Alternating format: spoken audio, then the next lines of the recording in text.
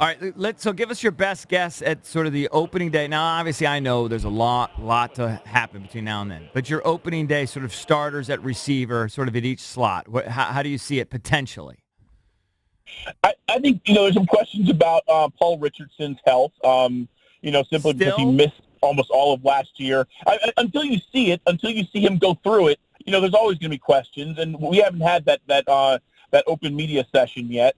Um, but from what I hear, he's coming along fine, and they are expecting him at some point this summer to be full go. I think they're going to take it easy with him early on. Um, so I, I think that he is going to be a starting receiver. I mean, in, in a lot of ways, you know, I was talking to Jay Gruden um, a few weeks ago. He's almost like a. They're looking at it almost like getting a free agent signing with Paul Richardson. Go last year. He got injured in training camp. Um, uh, tried to play through the injury. Suffered another injury early in the year, and then was IR'd. So. Um, you know, I, I think that he's going to be a big uh, contributor. He'll be a starter. I think Doctson does win the job um, on the other side right out of the gate. Um, I think uh, Trey Quinn is probably going to be your starter at um, at slot receiver. I, I know they, they're very high on him, um, but again, you know, with players, with young players, you got to you got to see it too. You got to see that consistency over over a number of weeks. But I would say those would be your three starting receivers right there. Mm. You know, one position we really haven't talked about since the draft, or you know, throughout the draft, is running back. Um, I know Yeah. they, they they draft Bryce Love, but he probably won't be ready till the earliest middle of the season if he plays Right. if he plays at all. But um, you know, they re-signed Peterson, but we're not really talking about Guice. It's almost like the, he's a he was a free agent pickup or an extra draft pick, and An unknown at this point. He's an unknown. You just don't know. But you know, obviously he was a stud in college, and um, you know we've heard rumors that his his rehab has been he's behind schedule. I don't know if that's true or not, but. Um, what what is your outlook for Guice? Uh, what are you hearing on his rehab? Does he look good? And would you expect Guice to be um, the opening day starter over Peterson, or do you think Peterson would be? Yeah, I, that's certainly um, something we're at the monitor this summer, and I've heard the same things that you guys and other people in the media have heard about Guice's recovery, which is, you know, it, it was clearly set back from the infections early on, but maybe isn't exactly where it needs to be. Um, uh, that said, publicly the Redskins are saying he's going to be good to go uh, uh, come training camp. So, you know, that's another one of those things where you're going to have to kind of see it to, to in order to believe it. I think if he is 100% uh, good to go, I think he's your your, your day one starter. Um, Adrian Peterson's going to going to play a whole lot, no doubt about it. Even at 34, he showed us last year he still got um, uh, still got some ability left. He still has some tread on those tires.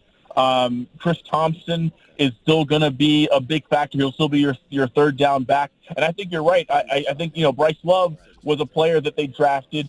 Um, I don't want to say they're going to redshirt him necessarily, but there's no pressure, which is good for him and good for the team. There's no pressure for Bryce Love to get on the field at really at all in 2019 unless they run into injury problems, uh, which is good because that'll allow him to to rehab the knee right, and not rush anything back, and be 100% for 2020. Because I don't know if you guys saw any uh, Stanford games. I mean, Love is a special, special player, and if you look at um, the fact that Chris Thompson is going to be a um, unrestricted free agent um, at the end of this year, and again, like I said, Peterson's 34.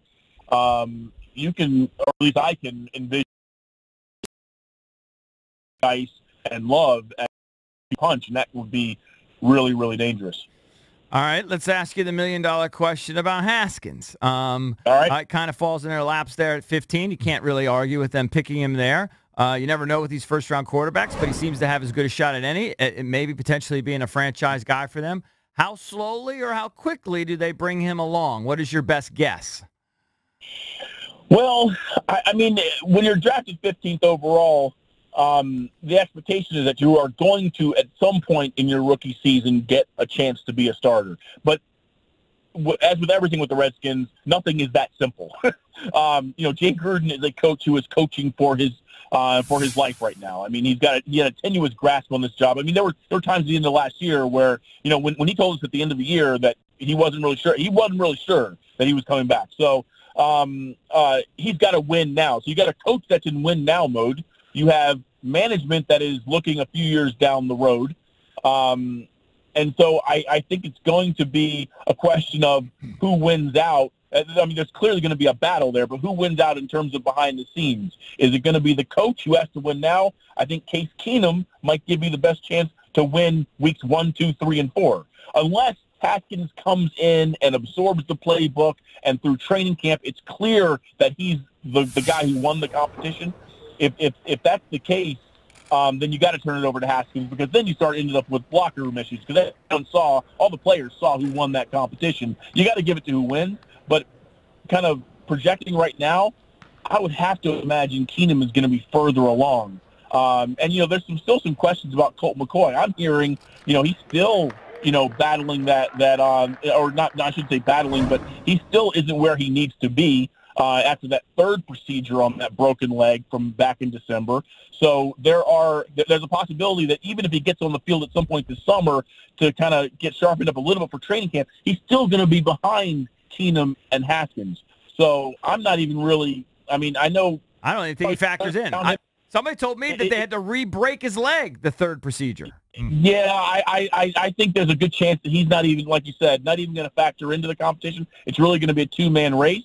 And then it's going to come down to who at Redskins Park, unless there's a clear winner. If it's one of those situations where, you know, uh, you know, Haskins looked a little better here, but Keenum looked a, bit, a little better there.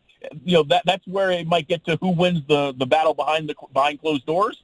Um, if you're the Redskins, if you're a player, you just hope that whoever wins it wins it clearly and there's no questions because the last thing you want to do is go into a season where, let's say, um, there's some questions early on. Keenum first two games, first time he throws three straight incompletions or an interception, everyone's calling for Haskins, right. and now you're switching quarterbacks in the middle of the year because then you're talking about probably a lost year, right? And if you're Jay Gruden, you absolutely can't afford that. He has to win now. Right. He has to have this team in position to, to make the playoffs next year.